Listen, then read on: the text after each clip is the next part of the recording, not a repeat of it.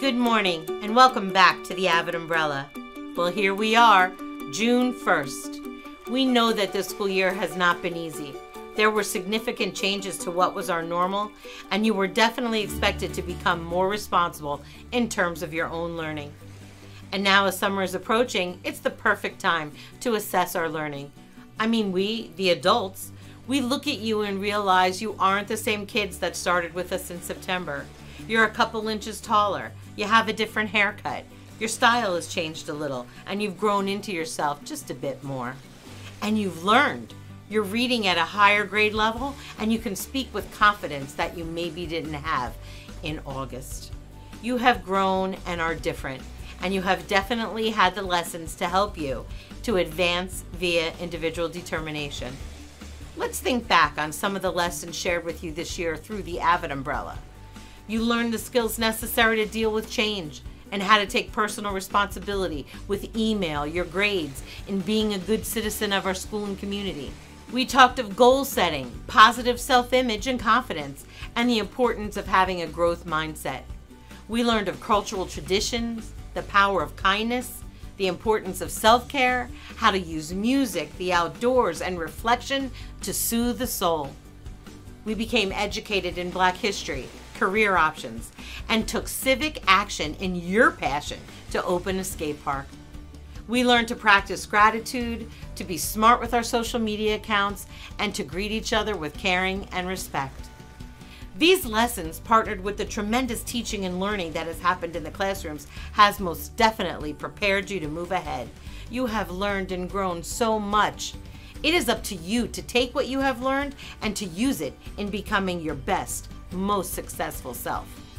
I know the next school year is the last thing you want to think about, but ignoring it will set you up for an unpleasant reality check come September. If your summer consists entirely of just watching TV, sleeping in, hanging out, the things you have learned and the qualities needed to retain learning, like concentration and critical thinking, they're probably going to get weak. Your mind needs to be exercised or it will be harder to use it effectively once school starts again. So let's hit it with one last list of activities that are excellent for keeping you and your mind at its best throughout the summer. Once summer hits, you should relax. That's right.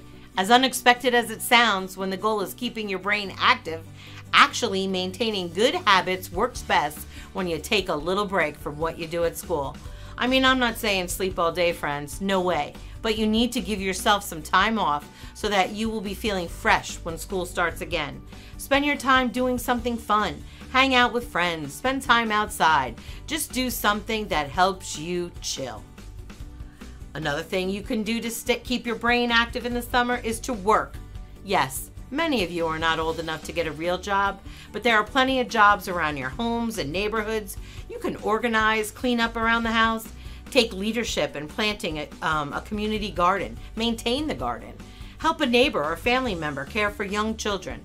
Work on something that helps your brain to stay alert and you can accomplish things, and that will feel so good. Something else you can do this summer to keep your brain alert is to learn something. Saying that learning something helps you to stay in the routine of learning sounds so obvious, but it's also true. Learning over the summer doesn't have to be a major investment of time, money, or brain power. Like you don't need summer school like academic classes. Although, friends, you should be on alert from notices from our school about some enrichment opportunities for you. But there's also things you can check out, like the YMCA, the Boys and Girls Club, Lunch Break, the Red Bank Public Library, and the Red Bank Parks and Rec for some cool class offerings that are interesting and fun. You've always wanted to learn a new skill, summer vacation might just be your opportunity. Another thing you can do this summer to keep your brain moving is practice. Because reading and writing are the foundations of learning, it's a good idea to continue doing them on a part time basis over the summer.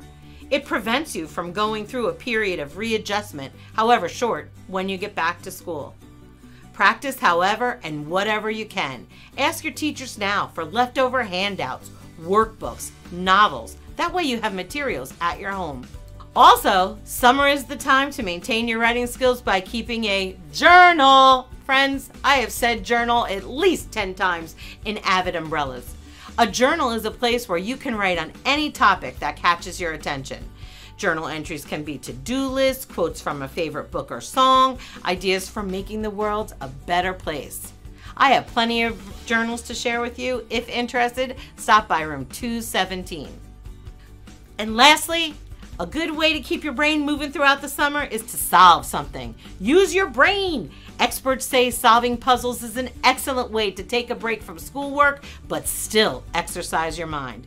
You can also find crossword puzzles and word finds in the newspaper and great books of puzzles and mind stretchers at the dollar store. So that's it for today, friends.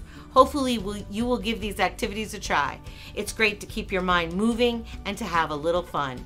Stay well, and remember, even in the summer, the Avid umbrella has got you covered. Have a great day.